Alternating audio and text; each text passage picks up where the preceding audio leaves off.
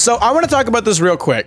All right, I just want to talk about this real quick because a lot of people, again, um, just to be clear, the reason why I'm doing this again, because I did this on my last stream, is because people are putting out this misconception. They're putting out a lot of uh, misinformation about like the whole Discovery and Warner Brothers deal or the Discovery and AT&T deal and all that kind of shit.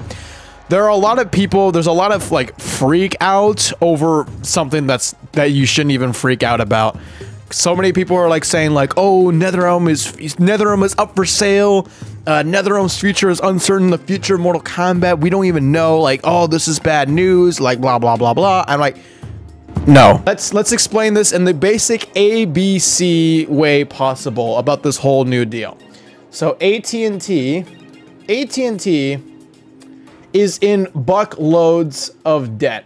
Okay, they're in buck loads of debt and they wanted to do they wanted to get into media. And so they got what they wanted to do to get into media they got and they formed warner media. Warner media is not the same as warner brothers. Warner media is not the same as warner brothers. The warner media is the mass media company that makes warner brothers films. Dc hbo and we'll just put WB Games. Now, because AT&T is in a buckload of debt, they are selling this entire thing. They're in they're, they sold the entire thing to Discovery. And now AT&T formed a deal with Discovery and now Warner Media no longer owns Warner Brother Films and WB in general, DC, HBO, and WB Games.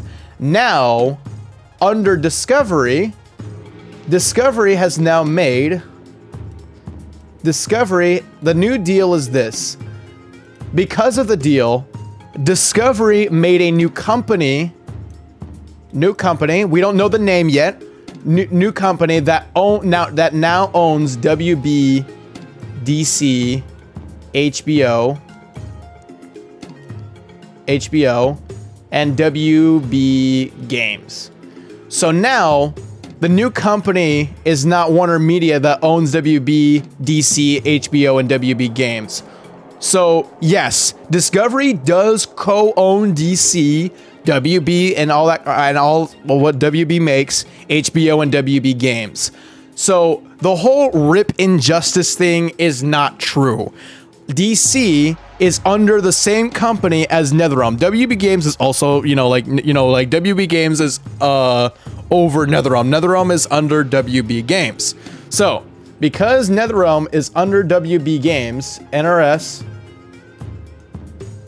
NRS is under WB Games, that technically means that NRS is owned by this new company or like it, it's it's under this new company as under discovery. So yes, it's up for sale or it was up for sale because like AT&T did sell this Warner Media to Discovery to form a new company to own WBDC, HBO and WB Games and NRS and all that kind of stuff. But it's that's it. Like like like Discovery has it. Discovery has it. It's not up for sale. It isn't like a deal where it's not like a deal where like um, the AT&T is selling like different assets of of uh, of Warner Media and everything. No, no, no, no. It's all under Discovery and the new company. So what is true is that some of WB Games will stay with AT&T once this new company moves and acquires everything else. It's possible that there are some WB Games studios that stay with AT&T and don't go with the new company. Um, but that doesn't mean they're being sold. That means they're staying with them. They're not going with the new company. That doesn't mean they're being sold. It means they're staying with the new company. I very I very much doubt that NetherRealm is staying with AT&T because it is reported and it is confirmed that DC is under the new company. It is confirmed that DC is under the new company. If something as big as DC is going to the new company, 100% NetherRealm is going with the new company as well. Most likely the gaming studios under WB that are going to uh, that are staying with AT&T are probably going to be like the mobile game ones just so like they have like some sort of like money to gain. So the future of NetherRealm Studios is going to be just fine. Now, what is uncertain is how this will change NetherRealm's like development. It's way too early to say, what kind of development processes uh, processes are going to happen under the new company. We don't know how this is going to affect the movies. We don't know how this is going to affect the games. It's most likely going to affect the, the movies more than the games and all that kind of stuff. Uh, it's way too early to say how this will affect the approaches because under the new company, the person who owns the new mass media company is going to be changing leadership roles in different areas, like in almost all of them.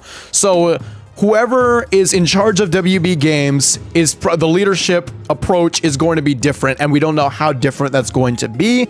However, from what I have read, this is actually good news because Discovery is known to put creators first and to be a very creator first driven company. Again, it's so early to judge and to say how this will affect development processes and things like that in any aspect in the movies and in the games.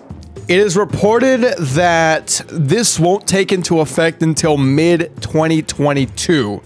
So nothing has changed. There is no like canceled product because of this deal everything right now until mid 2022 is business as usual. Kind of like how the Disney Fox deal happened, where like Fox still kept making the movies, they still kept putting them out until the merger actually happened, until like they uh, Disney actually acquired Fox.